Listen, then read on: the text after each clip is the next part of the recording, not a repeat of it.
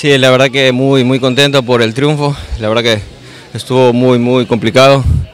Nos favoreció que, expulsaron a un jugador del equipo rival, pues ahí pudimos inclinar un poquito la balanza. Contentos, contentos por el triunfo y esperando hacer un gran partido en la final partido, como tú lo dijiste, por ahí trastocado desde el inicio, eh, les pasó también por ahí factura, porque bueno, al final decíamos nosotros acá que no se notaba mucho la falta del hombre en Mileros, pero sin embargo, eh, yo creo que tal vez como eh, jugador tú de tu equipo, ¿crees que hay algo que corregir por ahí las claras opciones de goles que tuvieron y no las pudieron concretar en su momento?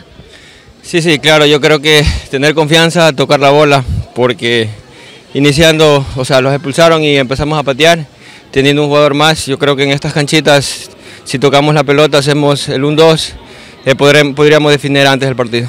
Santiago, primera vez que participas acá en, un equipo, ¿verdad? En el campeonato de Gambetitas, si más no recuerdo. Sí, primera vez. Este, mi amigo me, a inicios del año me estaba comentando del campeonato, ya lo había visto en las redes y pues contento, contento de estar aquí también participando. Imagínense, primera participación como arquero, porque hay muchos de los porteros que están acá que ya han venido derrotando en diferentes equipos, en diferentes ediciones. Primera edición que viene a participar eh, Santiago acá a Campeonato de Gambetita y se instala ya en una final. ¿Cómo se siente con eso? Agradecido con Dios primeramente por, por la salud, por permitirme estar aquí haciendo lo que me gusta, participar siempre en los campeonatos y y contento, contento de estar este, en la final. Eh, fue, fue un partido muy difícil y, así estamos, estamos bien. Santiago, algo referente, el equipo que viene, Pati Chocolate, un excelente rival.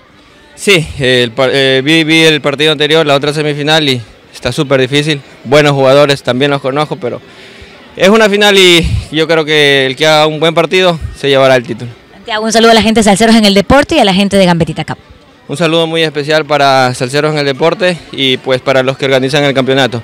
Y también permíteme saludar a mi, a mi esposa, a mis dos hijos, que los amo mucho, y este triunfo se los dedico a ellos y a toda mi familia. Muchas gracias.